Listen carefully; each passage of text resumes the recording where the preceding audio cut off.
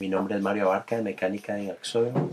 Hoy este, vamos a desarrollar el tema llamado sistemas de riel común.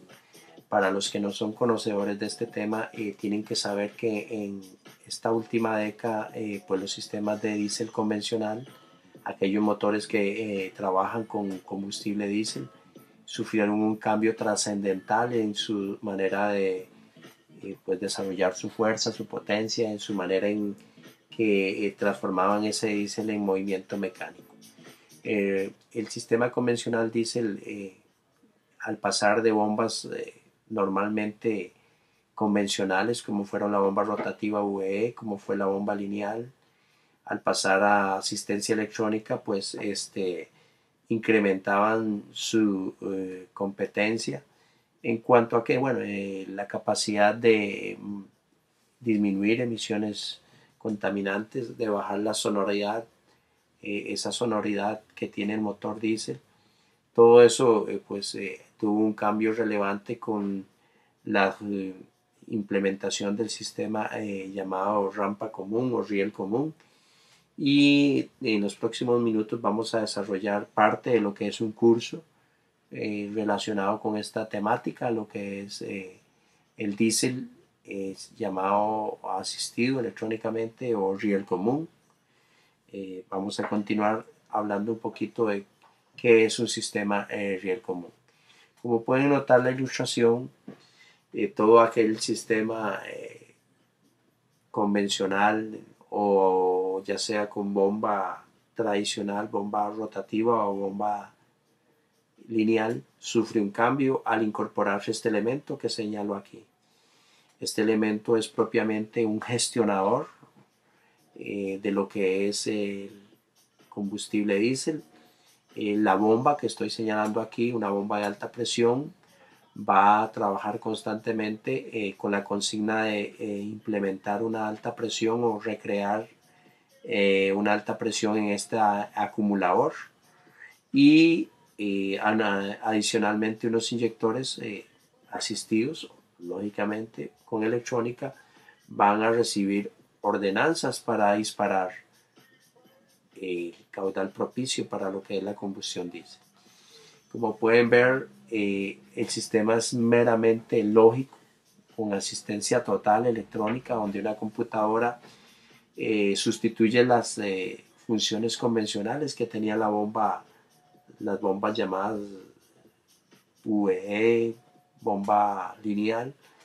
Y estas bombas tenían que hacer mecánicamente tres funciones básicas que eran dosificar, eh, encargarse el calado del tiempo y distribuir.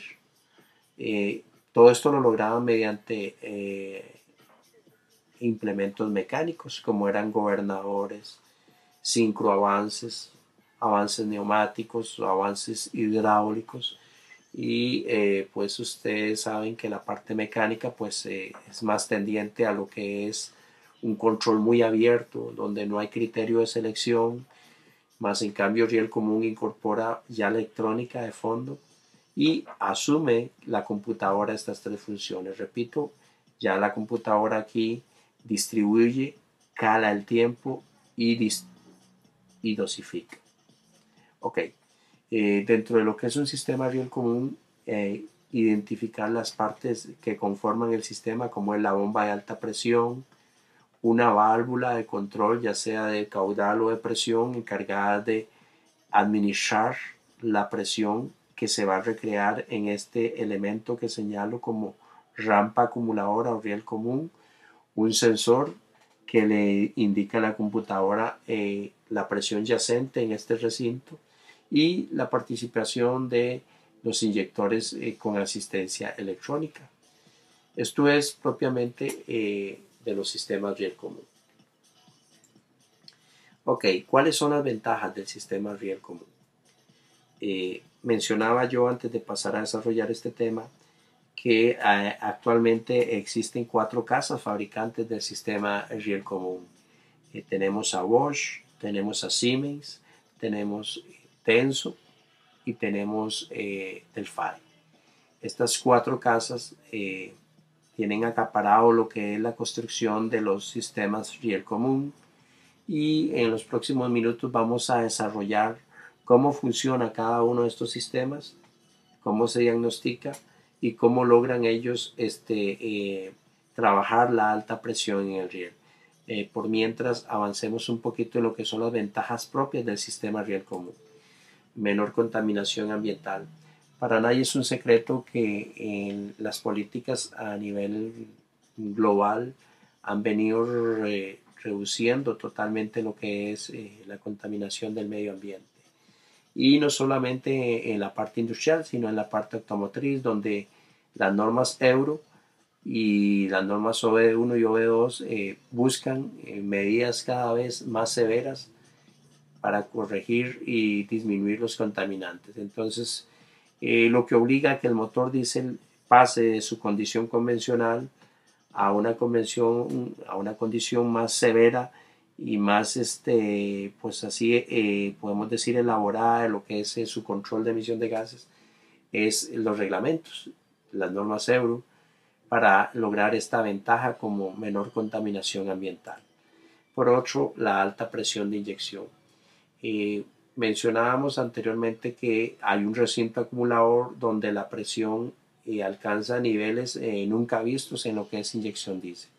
Hablamos que una presión eh, en un vehículo de turismo liviano puede alcanzar eh, en condición mínima, en rallying, entre 280 y 380 bar de presión y puede alcanzar fácilmente los 1600, 1800 y en algunos casos ya 2000 bares de presión en condición de carga o, o otra condición severa de manejo. La alta presión es propia de los sistemas riel común. Eh, inyecciones múltiples, aquí ya el concepto de una sola inyección perece.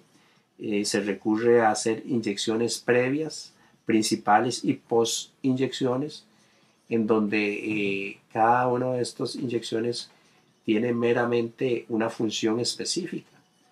Y se habla de inyección piloto o una inyección pre en el tiempo, eh, normalmente ustedes se acordarán que en los sistemas convencionales, vehículo liviano para eh, no generalizar mucho, las inyecciones eh, se daban angularmente unos 15 grados, 18 grados antes del punto muerto superior. Y solo era una inyección. Aquí hablamos de que previo a la inyección principal pueden haber hasta dos o tres inyecciones si así amerita la condición. Otra es la inyección personalizada. Cada cilindro tiene una inyección, un, caudal de inyección que difiere del otro. O sea, las inyecciones aquí ya no son iguales en todos los cilindros, sino que la capacidad analítica de la computadora puede determinar qué cilindro es el más perezoso y variar su eh, inyección para hacer un motor totalmente armonioso. Esto es importante puesto que eh, al hacer un motor más armonioso, la longevidad del mismo aumenta. Como último, la presión de inyección adaptada. Esto se refiere a que eh, cada inyector independientemente puede mandar un caudal diferente y eh, tiene que ver con la eh, inyección personalizada. La inyección adaptada quiere decir que hay un divorcio entre la velocidad de revoluciones del motor y la presión que, con, que se puede contar en el riel. Ahora, a bajas revoluciones podemos tener altas presiones y viceversa, porque la presión de inyección es adaptada y personalizada como lo veíamos en el punto anterior.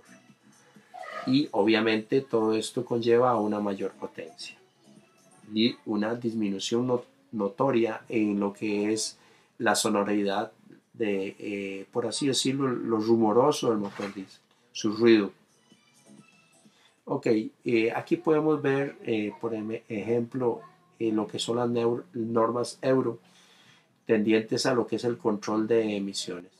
Me interesa en este gráfica el recuadro a su derecha, donde claramente se ve que la norma Euro 4 se permitía 25, así como lo voy a leer, 25 miligramos de partículas de motor en un kilómetro recorrido. Sin embargo, al pasar de la norma Euro 4 a la Euro 5, fue tan severo y drástico el cambio que se pasa de 25 miligramos a tan solo 5 miligramos, que si al caso es eh, por así decirlo, una pequeña partícula de, de, de, hollín o de carbón, por así decirlo, en donde eh, prácticamente por un kilómetro recorrido es lo más que puede emanar el vehículo. Vean ustedes que demasiado severas estas normas. Ok, en la siguiente ilustración vamos a ver lo que son características de la inyección. Por ejemplo, aquí tengo, tengo yo eh, una gráfica donde aprecio una curva de color rojo y una curva de color azul. Eh, nosotros podemos ver claramente que en el eje de las Y se representa presiones y en el eje de las X se representan eh, revoluciones. Y la primera curva que vamos a ver es la curva azul, esta curva ascendente que tenemos de color azul.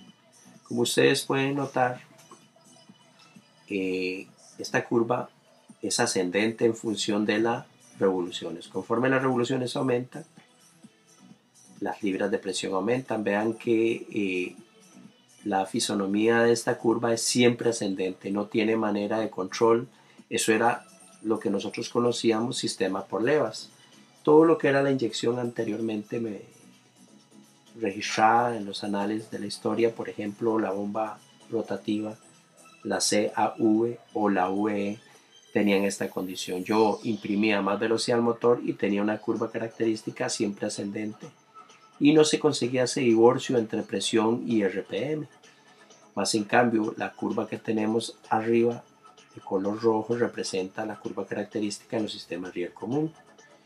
Eh, aquí pueden notar que el control de la presión es total, haciendo que la arquitectura sea cambiante y ya no en función del régimen, sino en función de los requisitos de motor.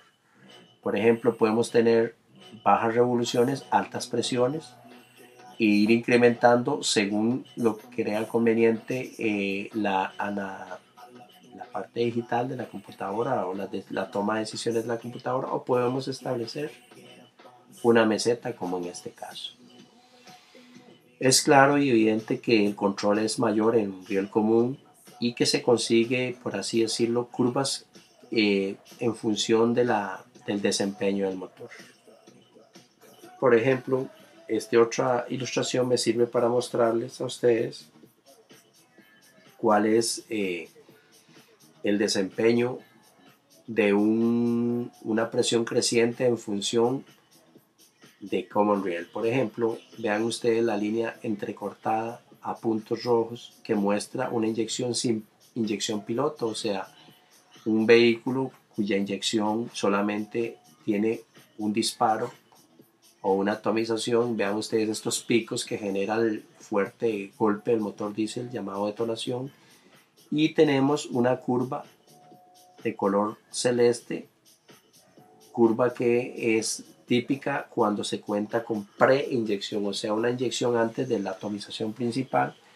Vean ustedes que no tenemos los picos de alta presión.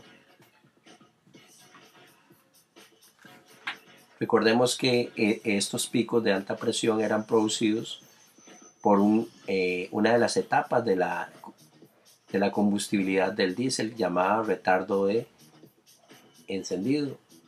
Ese retardo de encendido producido por el tiempo en que tardaban en ingresar las primeras gotitas de diésel hasta el momento que se incineraban era producido por varios aspectos. Era un retardo en donde el cetano jugaba un papel importante, la mezcla de la inyección y todo esto se sumaba.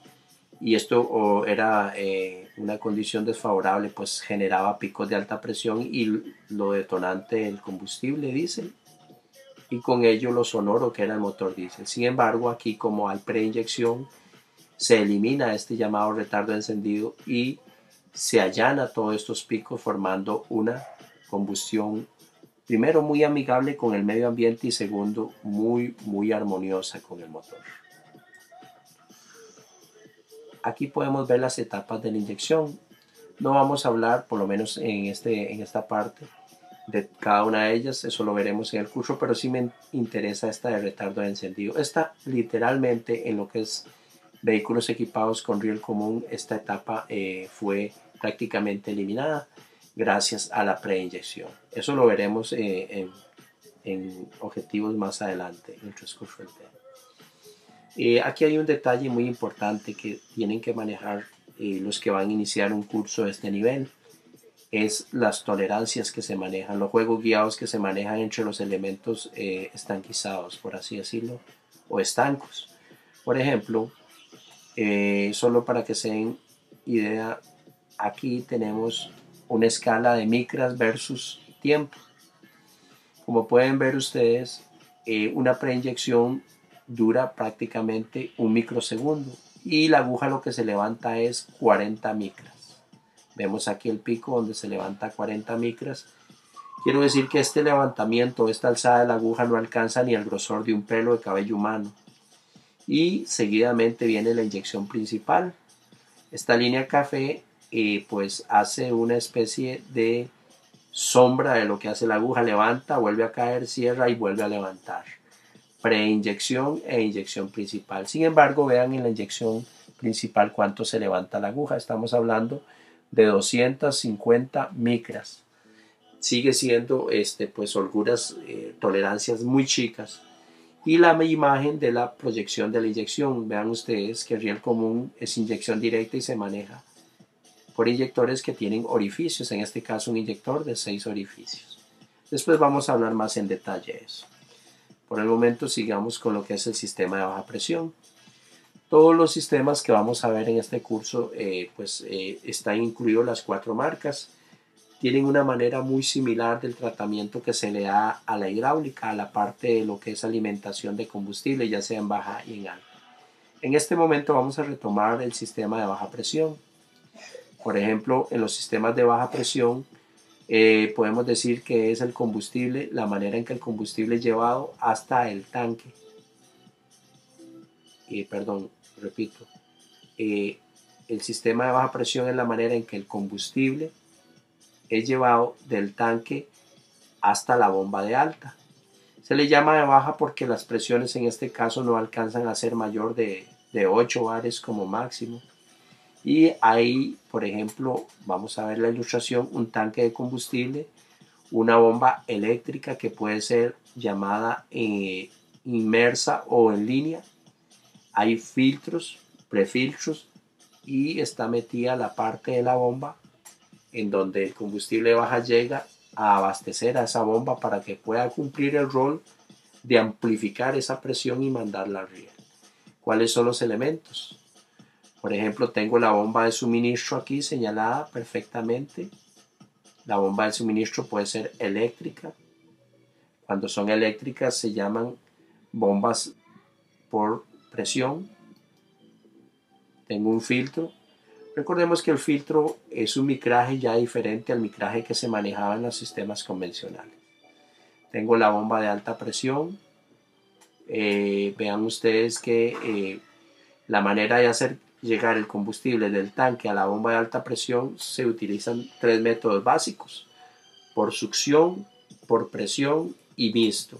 En este caso estamos viendo uno que es por presión porque esto que estoy señalando aquí, bomba eléctrica de suministro, incrementa una presión más o menos entre 3 y 4 bares y la acarrea por tubería hasta el filtro, donde es filtrada y es llevada a la bomba de alta.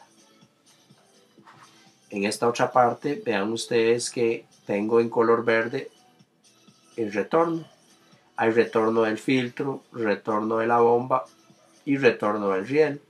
Y en líneas de color morado tengo lo que son los dispositivos eléctricos o electrónicos. Eh, el sistema de baja presión tiene como finalidad es dar el combustible de suministro que va a ser empleado para incrementar la presión en el riel mediante el trabajo principal de la bomba de alta que estoy señalando en este momento. Eh, les repito que en lo que es sistemas de baja presión no importa si estamos viendo cualquiera de las cuatro marcas, Delphi, Denso, Bosch y Siemens. Todos tienen esas tres maneras básicas de acarrear combustible, ya sea por succión, por depresión o mixto.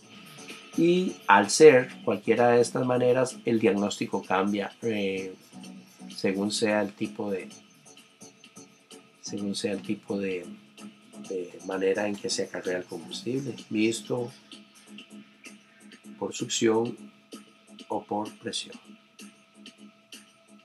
Por ejemplo, aquí tenemos el circuito a presión y como pueden notar ahí, aquí tenemos una bomba eléctrica, o sea, es combustible presionado hasta la bomba de alta y vean aquí que pasa al filtro, algunas veces pasan a calentadores en, en los países muy fríos, se necesita calentar el diésel, puesto que el diésel cuando está a temperaturas bajo cero eh, padece de un fenómeno eh, llamado cristalización, que es un cambio químico.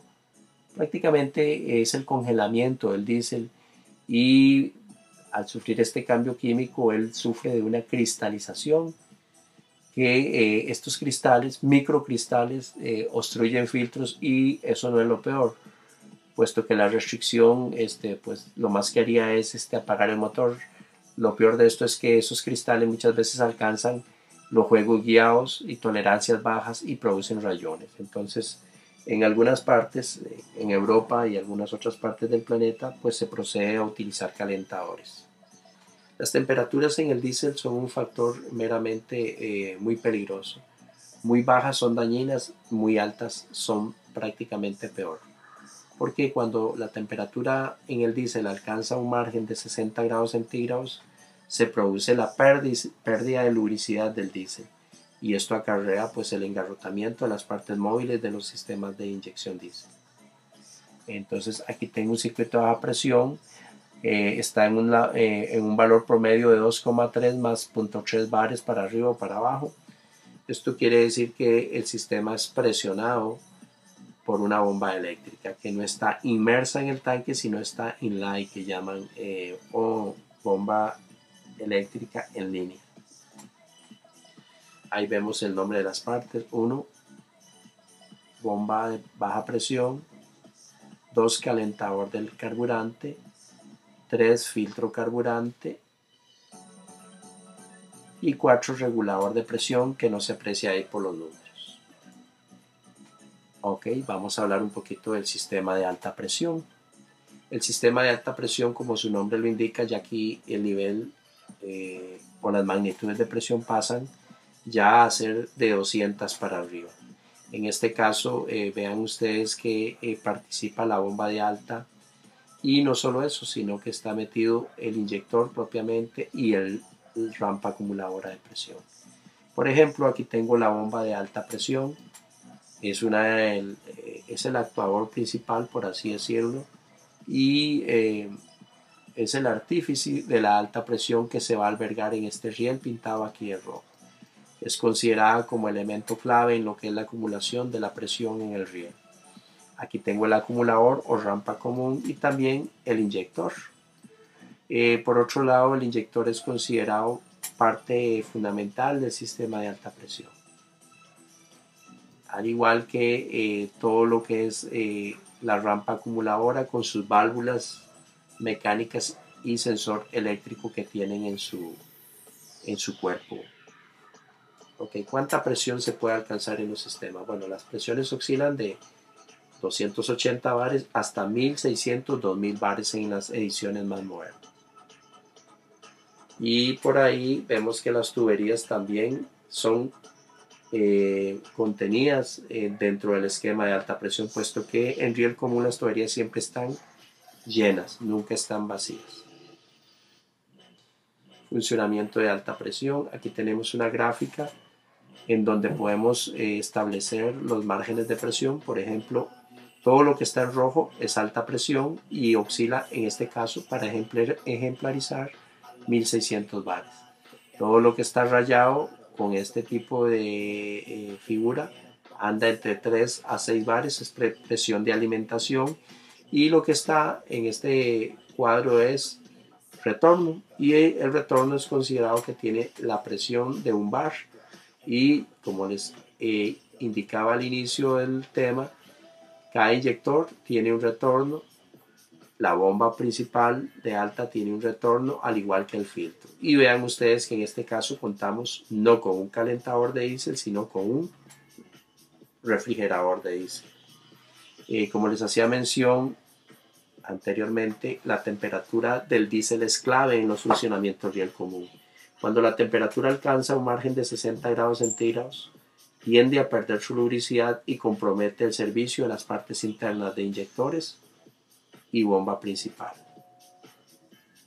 Ok, aquí tenemos otro detalle, lo que es el circuito de alta con una presión máxima de 1350 bar y una bomba de suministro tipo eléctrica en donde podemos apreciar que es muy muy eh, similar a su homóloga bomba de gasolina eh, tiene el lado aspirante y el lado impelente eh, tiene un inducido como es eléctrica funciona bajo el principio de inducido tiene una válvula de sobrepresión y una válvula de no retorno para mantener tuberías rellenas y su principio es el de rodillos circulantes que forman un área de baja presión o cámara excéntrica y eso provoca un área de baja presión haciendo una succión sobre el combustible y tiene su lado impelente.